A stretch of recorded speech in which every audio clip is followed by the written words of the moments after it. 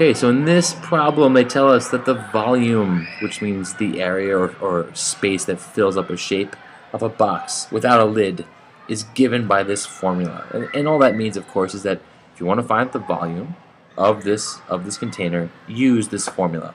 And they tell you here where x is a length in inches and v is the volume in cubic inches. Cubic inches, of course, just means, well, how many inches that look like cubes would fit inside the shape. And inches here, a measure of length is a two-dimensional measure. All this is saying is that in this formula, x represents length and v represents volume. So now look, they give you um, they give you the x's for these two different problems, and they want to know what is the volume. And we, we should know right before we start that the volume should be greater in the second problem than the first. Why? Well, because the, the length is greater. And as the length gets bigger, the shape gets bigger and can hold more stuff. So part A, x is 2. Let's plug it into the formula. v equals 4 times 2, which is 4x, times 10 minus 2 squared.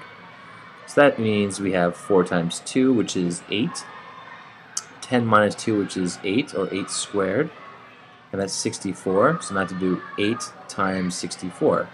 And the way I'm going to do that is to multiply 8 by 60 and get 480.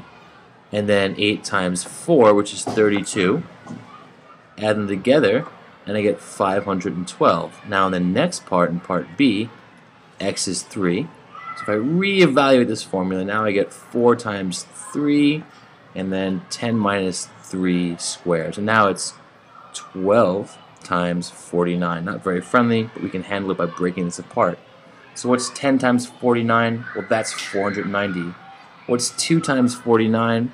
Well, I think of 2 times 50, which is 100. But this is 49 is 1 less than 50, so it's going to be 98.